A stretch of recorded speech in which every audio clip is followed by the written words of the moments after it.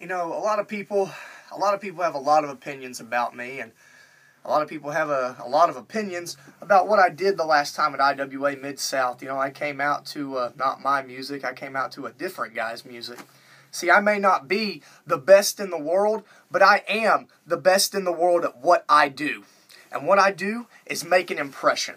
Because you're never going to come watch me, you're never going to see me wrestle a match, you're never going to come to a show I'm on and not remember me.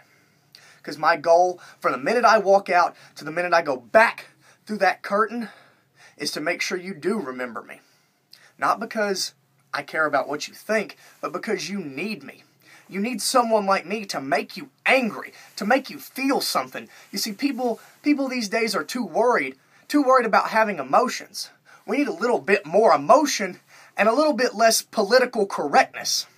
And you see, Chris Hero, that's what brings me to you. That's your problem.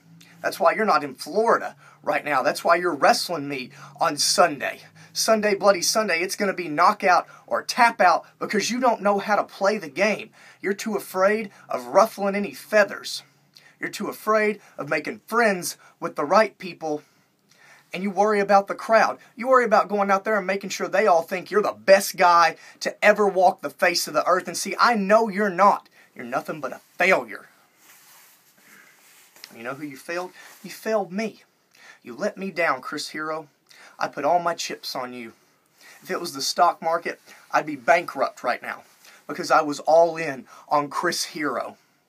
You went down there and you were too afraid. You were too afraid to step out of your comfort zone. And now you're right back where you started IWA Mid South. So thank you. Thank you for the reality check, Chris. I appreciate that. I'll see you on Sunday, and I won't be the only one who's had a reality check.